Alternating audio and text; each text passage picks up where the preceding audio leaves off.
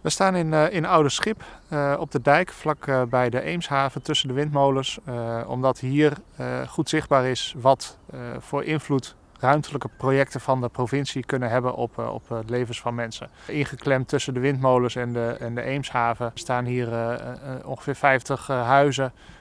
nou ja, toch best wel in een heel lastige positie. En wat voor ons de komende jaren heel belangrijk zal zijn, is dat de ruimtelijke projecten van de provincie alleen maar door kunnen gaan als de omwonenden daar uh, in grote meerderheid voor zijn en daar draagvlak is echt onder de uh, direct omwonende mensen.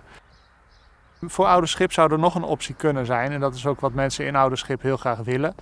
Die zeggen van nou ja, wij, wij, zijn op zich niet tegen al die ontwikkelingen rondom ons, maar zorg nou dat wij hier niet met onverkoopbare huizen blijven. Wat wij willen is een opkoopregeling. Um, dat, dat is op meer plekken in het land uh, bestaat dat wel. En dat geeft mensen de mogelijkheid om hun huis te verkopen. Uh, daar hoeven ze helemaal geen gebruik van te maken. Maar dat geeft zoveel zekerheid dat zo'n dorp dan toch uh, nou ja, kan blijven bestaan. Um, dus het hoeft niet per se te betekenen dat de projecten niet doorgaan. Maar ik denk dat het heel belangrijk is dat mensen echt een, een positie hebben in zo'n project. En dat een project niet alleen maar uh, het gevolg is van een, nou ja, een wens van een kapitalistische bedrijf, een grote windreus. maar dat echte mensen centraal worden gesteld door de, door de overheid.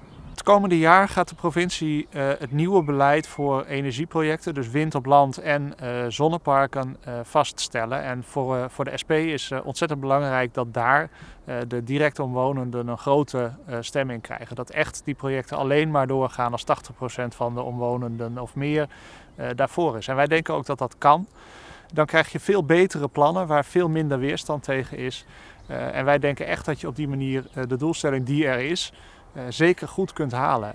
Uh, en als provincie moet je daar veel meer dan, uh, dan in het verleden is gebeurd echt goed over hebben.